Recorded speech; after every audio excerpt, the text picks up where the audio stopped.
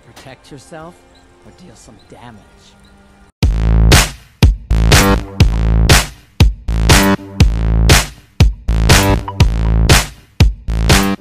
Greetings, viewers. Brad, proprietor of Barstool Entertainment, doing another Skyrim video. This one is about dual enchanting.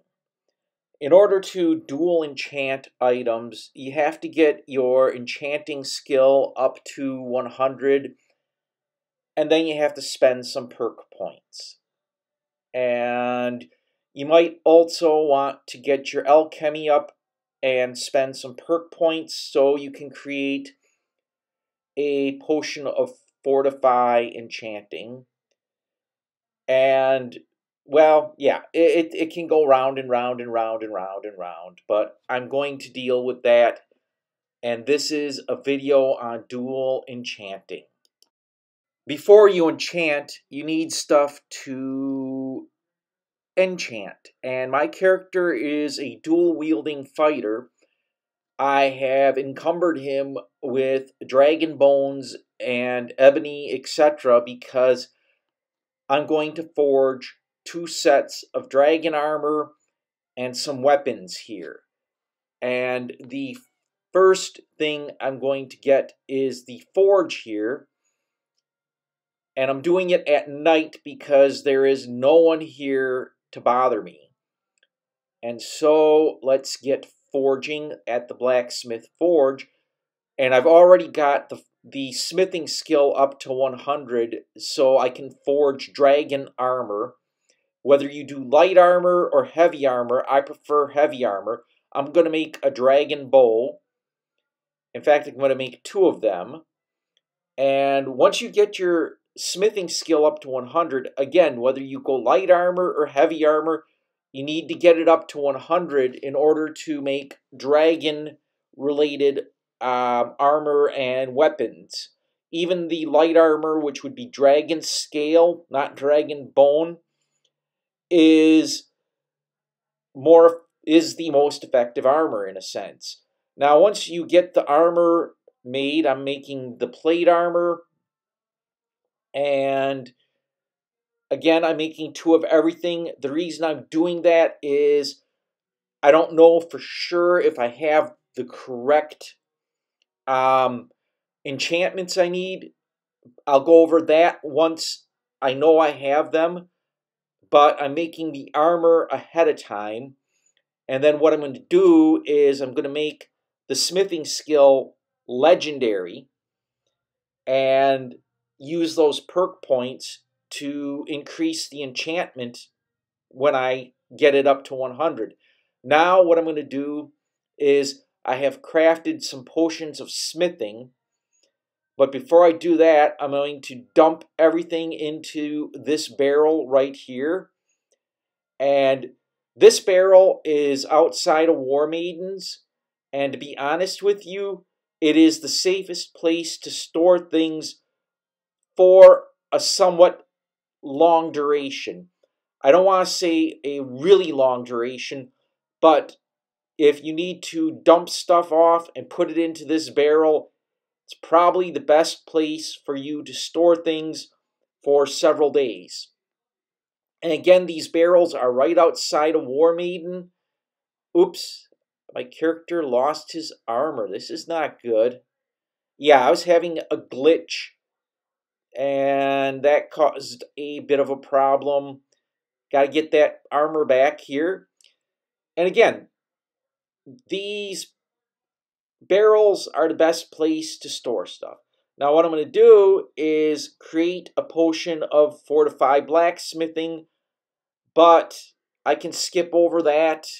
You got to go and use your alchemy skills. Again, I did a a um, video on alchemy and why it's an important uh, skill to have. But I'm going to skip over that and get to enchanting the armor. Now, before you dual enchant, you want to make sure your enchanting skill is up to 100, and then you want to spend perk points on enchanter. And that's what I'm doing is now I'm getting enchanter. You want to get it up to 5 because now your new enchantments are 100% stronger. And what I'm going to do is I'm going to legendary the smithing skill.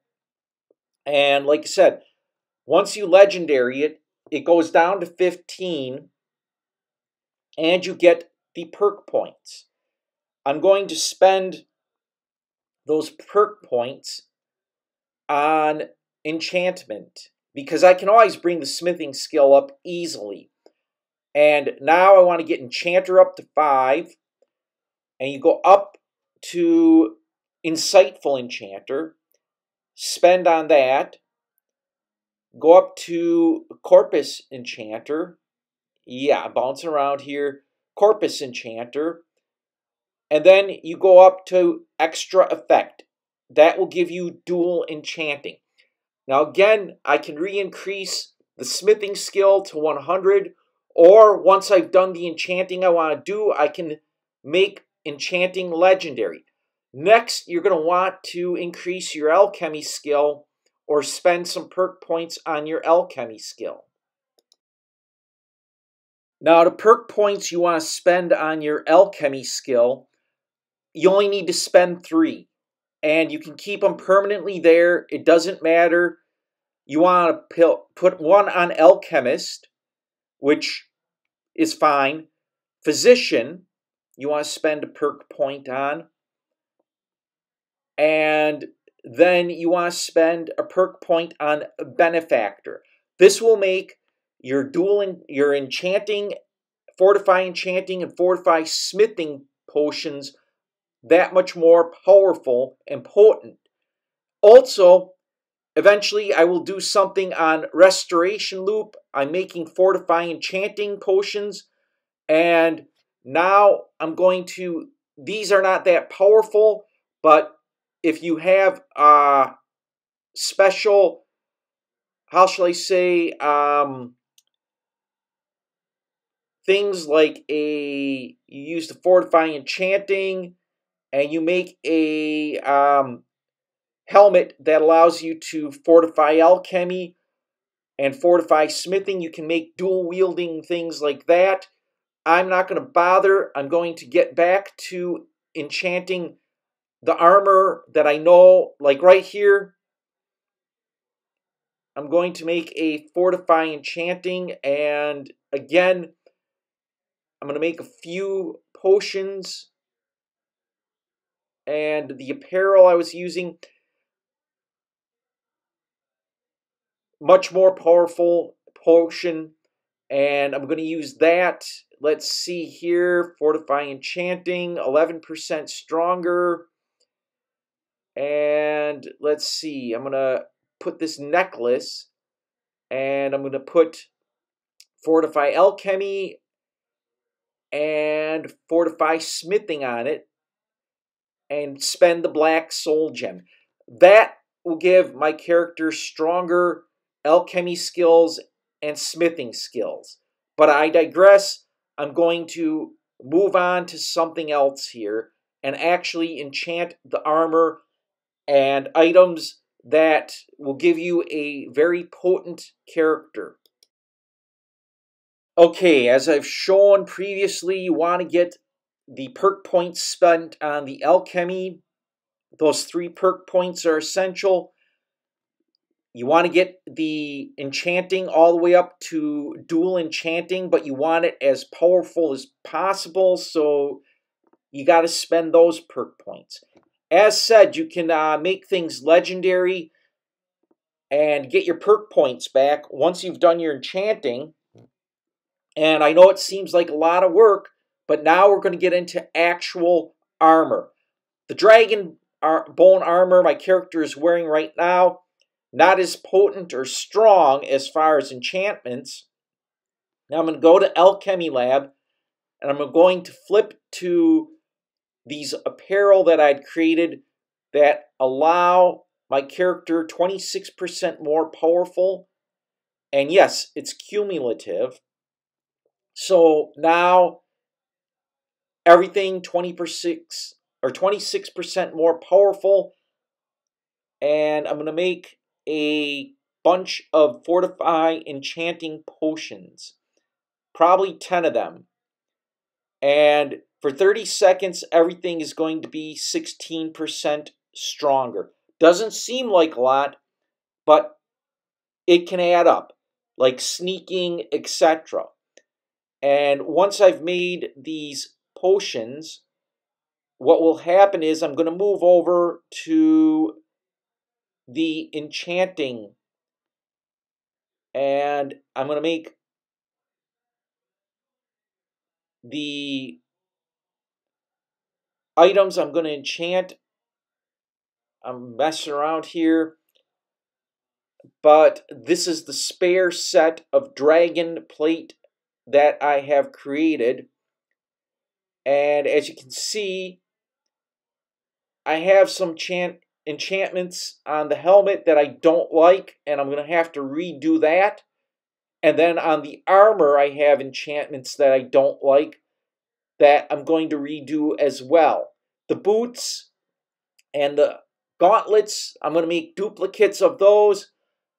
Uh, I'm going to improve the necklace and the ring. Now, when I, I go over to this arcane enchanter, I'm going to drink a potion that will fortify enchanting. And I'm going to do that per item. And I want to save first. I want to put in a quick save that that way I can start the enchanting process.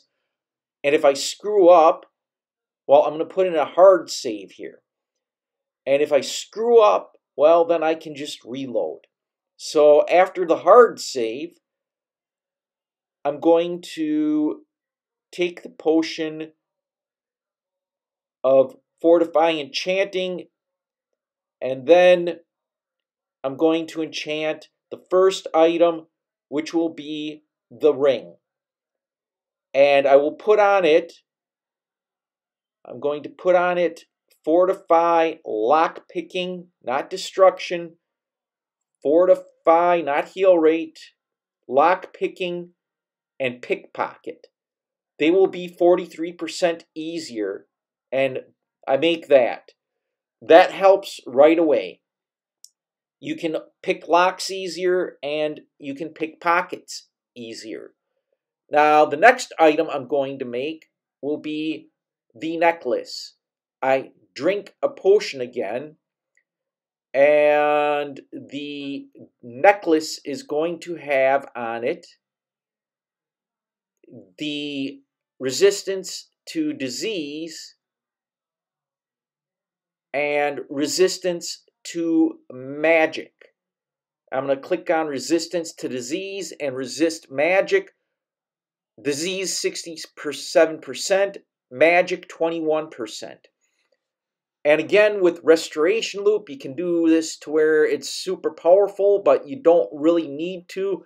It tends to distract from the game. Now, the next potion I take, I'm going to, again, swallow the Fortify Enchanting Potion, and I'm going to do the boots. And the boots, I'm going to put on Fortify Carry Weight and Fortify Sneak. If you have Muffle, that's even better, but Fortify Sneak not bad. And after that, I'm going to do the gauntlets. After I take the Fortify Enchanting Potion, I'm going to do the gauntlets. And with that will be Fortify Archery and Fortify single-handed combat since that is or one-handed that is what my character's using one-handed combat, and it's 43% better, which is not bad. And it helps. The next item I'm going to do is the armor. Now, this is where I screwed up. I didn't have proper enchantments on the armor. I'm going to put Fortify Healing Rate and Fortify Stamina Regen. I didn't have that at the time. And so now The stamina and the healing rate are much better. And then the final item I will be enchanting is the helmet. Now, the helmet is going to be, I mean, water breathing and fortify magic regen. It's that simple. You can't put fortify speech for some reason. I don't know if I have it, but maybe I don't have it. No, it doesn't look like it, but water breathing and fortify magic regen. Could do lock picking illusion. Fortify magic regen. And there you go. Uh, as far as weapons go, I'll tell you this right now. You do not want to do dual wielding or dual enchantments on weapons. You just want to put one type of enchantment on weapons because it does you no good unless you spend perk points on like the storm enchanter etc you just want to put one type of effect on weapons. And let's see. Again i'm going to take a look. Yep alchemy. Alchemist. Benefactor physician you use those, it'll help you out. Now, the final thing I'm going to show once I get out of this is yeah, you don't want to go to experimenter. You don't want to spend any more perk points. Three perk points you can sacrifice. But what I'm going to show you once I get out of this is yeah. Why am I messing around here? Smithing I can redo. I already made it legendary. You can spend perk points, but weapons, again, you only want to have one enchantment. And I'll show you right now on, I'm going to flip to the better gauntlets and other items and favor them because you don't want to lose them. You favor your items that you want to wear all the time in order to ensure that, yeah, this is the helmet that I want. Swim underwater and magic regen. The other one, eh. Take off that. I'm going to go to the silver ruby ring and favor that. And the gold necklace Nope. Next one, yeah, there we go. Disease resistance and magic resistance. I'm going to favor that. Now, as far as weapons go, again, never put dual enchantments on them. I have created this character here, and again, I'll show you weapons. I only have shock damage and absorb health. Shock damage or damage magic on one of your weapons, at least because whenever you encounter, like my bow, whenever you encounter creatures for some reason in Skyrim, they all wield magic. Well, I'm Brad, proprietor Barstool Entertainment, showing you how to enchant, armor, and dual enchant. If you like this video, hit the like button. If you like this type of video, I put four out a week, so hit that subscribe button and bell icon and you will be notified. Thanks for watching. Thanks for subscribing. Thanks for stopping by.